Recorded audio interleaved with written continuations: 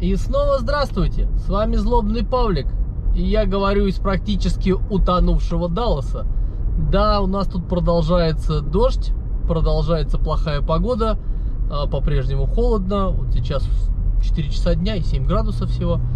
Вот такая вот непонятная весна, весна, зима. Ну, черт его знает, вообще должна быть уже весна, а, травка вроде вокруг зеленеет, но как-то холодно. Вот, поэтому по-прежнему ничего э, радостного не могу вам показать, потому что, ну, просто пасмурно, да. И продолжаю отвечать на ваши вопросы. Э, ну, надо же хоть что-то, хоть что-то снять. Вот. А вопрос сегодня будет опять-таки насущный и частый. Сколько же нужно денег, чтобы прожить в США? Сложный вопрос. Можно ответить кратко. Много. Я не знаю, наверное, это самый четкий, емкий и короткий ответ. Э, в общем-то, теперь вы все узнали и можете смотреть другое видео. Вот. А, ну, кому интересны подробности, подробности такие. Надо прежде всего понять, что в США основной ценностью является, как это ни странно, человеческий труд.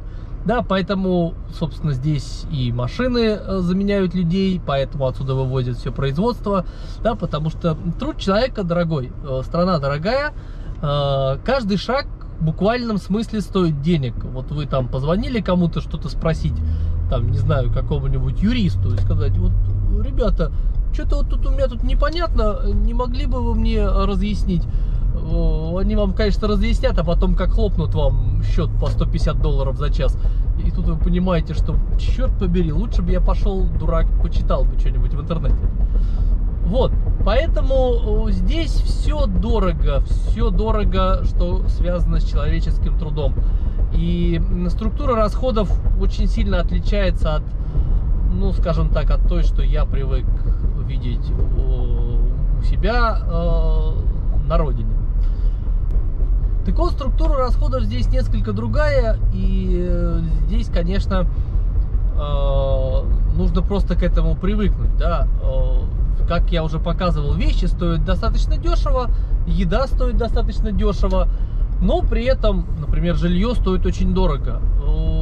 Например, а, комната, ну, комната, квартира, именно квартира, не дом – на одну спальню, здесь считается в спальнях, то есть, грубо говоря, там кухня, зал, это такая одна большая площадь, а, плюс спальня. Вот какая-то такая небольшая квартирка обойдется в среднем в 1200-1500 долларов, в зависимости от паршивости района.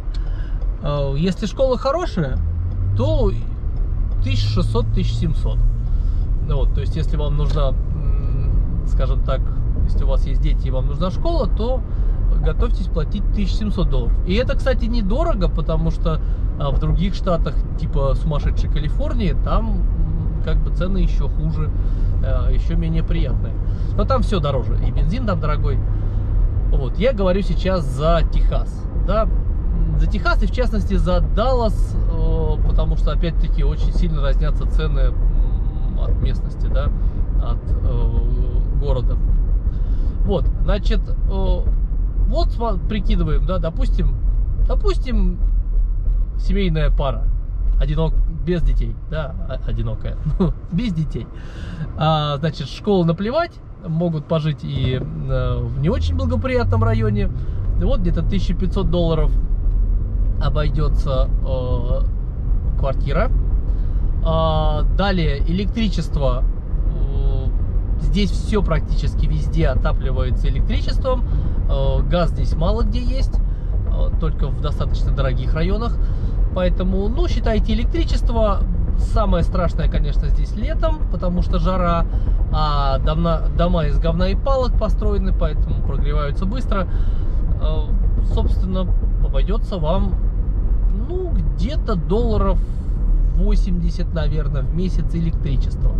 Вода ну, если вы не будете там как дельфин купаться постоянно в ванне, тогда, ну, еще долларов 40, наверное, 50 э, вода, потому что стира... постирушки всякие, да, там посудомоечная машина, а, все это воду кушает. А, что еще? по жилью. О, ну, там еще какие-нибудь мусор, но это все копейки, там 5-10 долларов. Ну, э, в итоге вам жилье будет обходиться где-то в 1800 долларов.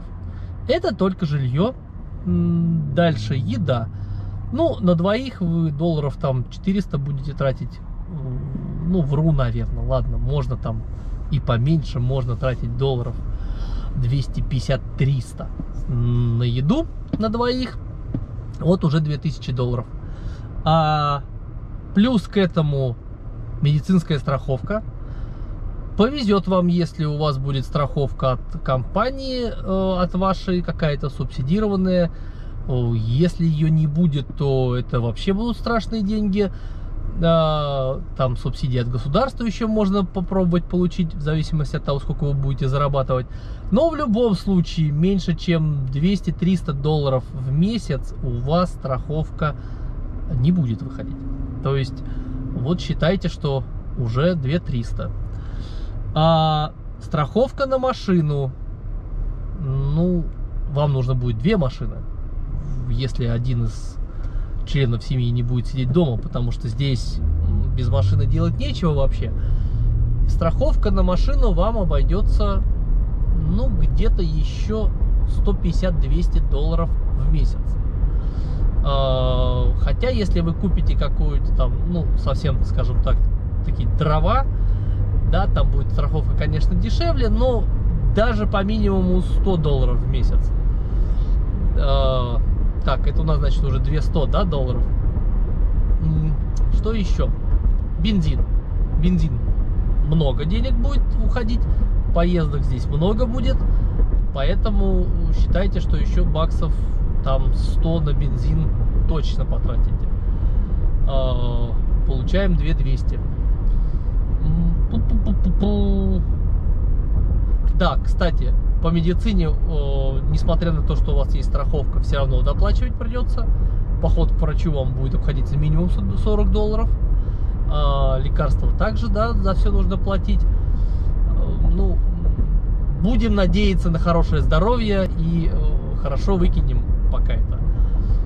Так, что еще? Что еще? Одежда. Ну, с одеждой здесь просто, как бы сейчас, конечно, прохладно, но все равно здесь нету таких прям жестких сезонов, поскольку все-таки минусовых температур здесь практически нету, поэтому, ну, будете там тратить, я не знаю, 50 долларов в месяц на одежду, а, так, усредненно, да, то есть потратили сразу, купили там всего себе, и э, считаем, что 50 долларов в месяц. Так, то есть это уже у нас сколько? 2 там 250, да, э, получается. Ну, понятно, хочется куда-нибудь сходить, наверное, да, на это нужно тоже потратить долларов 100. А, да, вот, куда-нибудь сходить. Какой-нибудь тренажерный зал. Тренажерный зал, э, здесь это просто ад, кругом вам какие-нибудь контракты впихнут, потом будете очень долго от них отбиваться.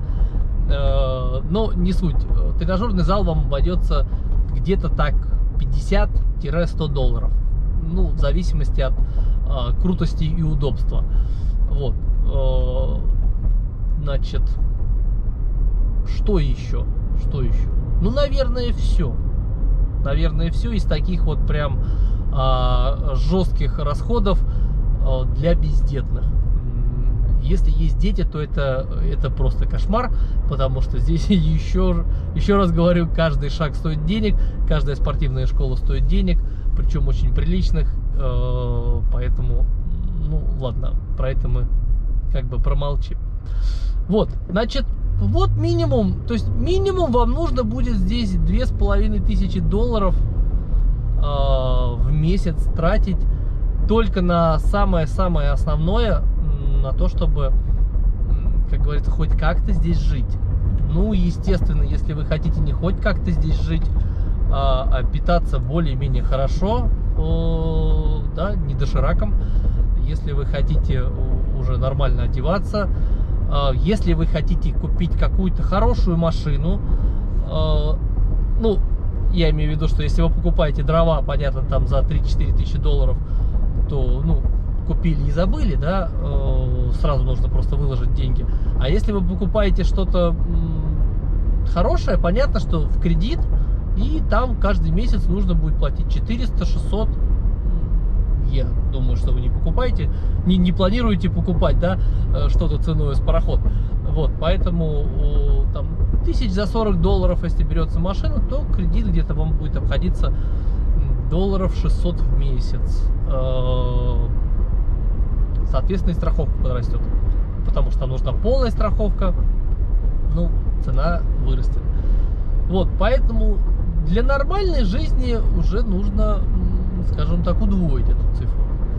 А если у вас дети, то там уже нужно утро, утроить ту же самую сумму. То есть вот и получается, что если вы хотите хорошо здесь жить, вам нужно 4-5 тысяч долларов. А, а тут же вы и райончик захотите поменять, да? Захочется же уже так, чтобы парки были вокруг э, спокойные, э, и чтобы поменьше было всяких стрессов вокруг.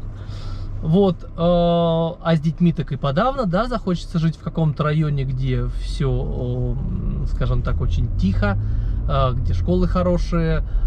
Вот, поэтому с детьми, с одним, с двумя детьми, это уже где-то в районе 10 тысяч долларов в месяц э, придется тратить на все развлечения. Вот как-то так, какие-то такие цифры. Э, надеюсь, я ничего не забыл.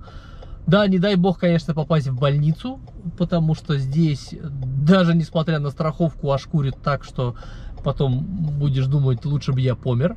Э, счета потому что будут идти потом очень долго. Это как бы страховка и вообще больница, медицина здесь это отдельная какая-то, какой-то ужас, я не знаю, как, как с этим жить. Это просто ну, реально, реально развод на бабки. Вот. Ну, а так в целом жить можно, да, жить можно, но зарабатывать нужно дофига. Вот как-то так. Ставьте лайки, подписывайтесь на канал. Надеюсь, вам эта информация была полезной.